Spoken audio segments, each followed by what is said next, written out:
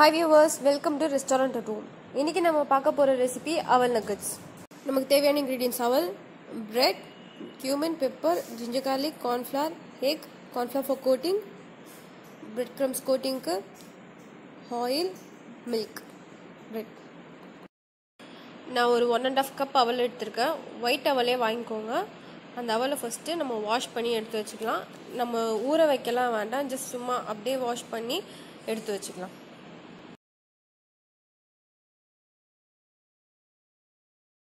Wash பண்ணாமல் அப்படியே drain பண்ணி எடுத்து வச்சுக்கலாம். அது தண்ணியில் இருக்க விடாதீங்க. நம்மளோட ஃபைனல் ஸ்டெப் இந்த நகட்ஸில் என்னென்னா பிரெட் க்ரம்ஸில் கோட் பண்ணி ஃப்ரை பண்ணுவோம். அந்த பிரெட் க்ரம்ஸோட ரெசிபியும் வந்து ஆல்ரெடி நம்ம சேனலில் இருக்குது நான் லிங்க்கு டிஸ்கிரிப்ஷன் பாக்ஸில் போடுறேன். யூ கேன் யூஸ் இட்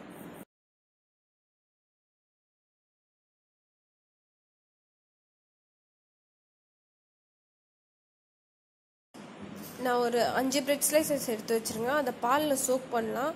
ரொம்ப அதிகமாக எடுக்கக்கூடாது பால் கரெக்டாக அந்த பிரெட்டு ஊறுற அளவுக்கு இருக்கிற பதத்தில் இருந்தால் போதும்.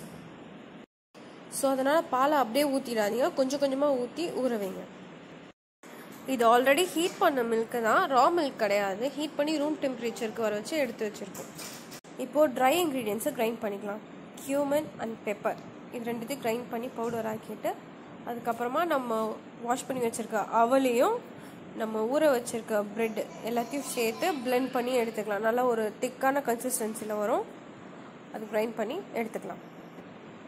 இது நல்லா கிரைண்ட் ஆனோடனே இது கூட salt and ginger garlic paste இது ரெண்டுத்தையும் ஃபைனலாக ஆட் பண்ணி இன்னொரு தடவை நல்லா பிளெண்ட் பண்ணி எடுத்துக்கிறோம். பிளெண்ட் பண்ணி எடுத்தோடனே நமக்கு இப்படி தான் இருக்கும். அதை ஒரு பாத்திரத்தில் ட்ரான்ஸ்ஃபர் பண்ணி எடுத்து வச்சுக்கலாம்.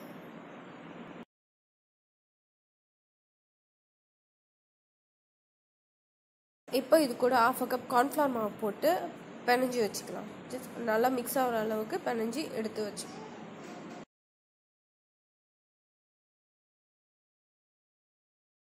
பிணைஞ்சதுக்கப்புறம் நமக்கு இந்த கன்சிஸ்டன்சியில் இப்படி தான் இருக்கும்.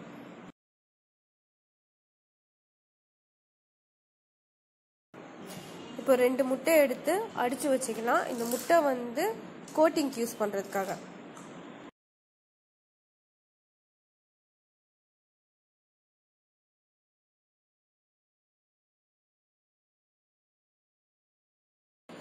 கார்ன்ஃப்ளவர் வந்து கோட்டிங்க்காக இந்த பிரெட் க்ரம்ஸ் வந்து last step of coating oil வந்து நம்ம ரெண்டு கையிலையும் அப்ளை பண்ணிட்டோம்னா நம்ம நகட்ஸ் அந்த மிக்சர் வந்து எடுத்து ஷேப் பண்ணும்போது கையில் ஸ்டிக் ஆகாது. ஸோ ஆயில் ரெண்டு கையிலையும் அப்ளை பண்ணிவிட்டு ஒரு போர்ஷன் ஆஃப் மிக்சர் எடுத்து நமக்கு தேவையான ஷேப்பில் ரெடி பண்ணிக்கலாம். நான் வந்து நகட் ஷேப்பில் பண்ணுறேன் குழந்தைங்க வீட்டில் இருக்கவங்க எந்த ஷேப் ப்ரிஃபர் பண்ணுறாங்களோ அந்த ஷேப்பில் பண்ணிக்கலாம். பண்ணிவிட்டு கார்ன்ஃப்ளவர் மாவில் கோட் பண்ணிவிட்டு அப்புறம் எக் வாஷில் கோட் பண்ணிவிட்டு ஃபைனல் ஸ்டெப்பாக பிரெட் க்ரம்ஸ் பிரெட் நல்லா ஃபுல்லாக எல்லா இடத்துலையும் அப்ளை ஆகுதா அப்படின்னு சொல்லிட்டு நல்லா கேர்ஃபுல்லாக பார்த்து எடுத்து வைங்க.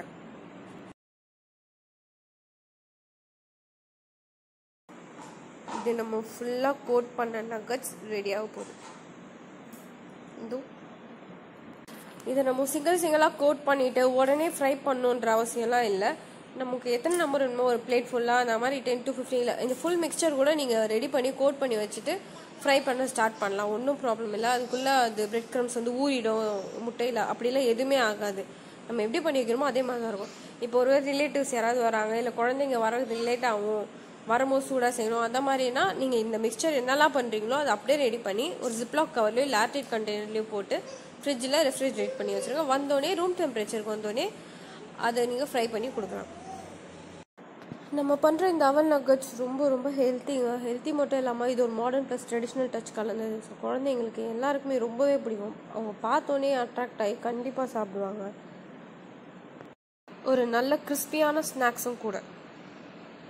ஸோ வீட்டில் ட்ரை பண்ணி பார்த்துட்டு எப்படி இருந்தது கமெண்ட் செக்ஷனில் சொல்லுங்கள் நான் கோட் பண்ணி வச்சுருக்க நக்கட்ஸ் எல்லாம் ரெடியாக இருக்குது பேன் ஹீட் ஆனோடனே ஆயில் ஊற்றிக்கலாம் தேவையான அளவு ஆயில் ஊற்றிட்டு ஆயில் ஹீட் ஆகுதா பாருங்கள் கொஞ்சம் ஆயில் ரெடி ஆனோடனே நம்ம ரெடி பண்ணி வச்சுருக்க நக்கட்ஸை ஃப்ரை பண்ணி எடுக்க ஆரம்பிச்சிடலாம். ஃப்ரை பண்ணும்போது ஒரு முக்கியமான விஷயம் என்னென்னா இந்த ரெசிபி வந்து ஐ ஃப்ளேமில் வைக்கவே கூடாது. Medium flame and low flame ரெண்டு ஃப்ளேமில் மாற்றி மாற்றி வச்சு தான் செய்யணும்.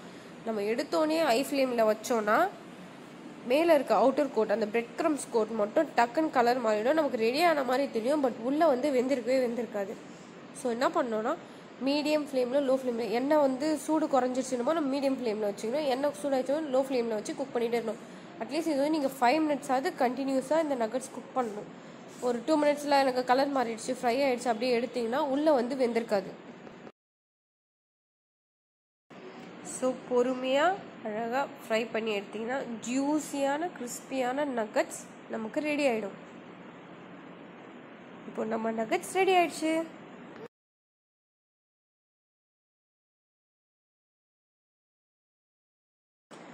சுவையான அவல் நக்கட்ஸ் தயார். நம்ம ரெடி பண்ண நக்கட்ஸை கொஞ்சம் கெச்சப்போட சர்வ் பண்ணால் டேஸ்ட் சூப்பராக இருக்கும். அது மட்டும் இல்லாமல் இப்போ பார்த்தீங்கன்னா இது நம்ம குக் பண்ண நக்கட்ஸ் உள்ளே எவ்வளோ நல்லா வெந்திருக்கு பாருங்கள் hope you all enjoy the video எங்கள் வீட்டு குட்டிமா நக்கட்ஸ் எப்படி என்ஜாய் பண்ணுறாங்கன்றதை பார்க்கலாம் இப்போ ஃபர்ஸ்ட் டைம் இதை டேஸ்ட் பண்ணுறா அப்புறம் அது அவளுக்கு ரொம்ப பிடிச்சிருக்கு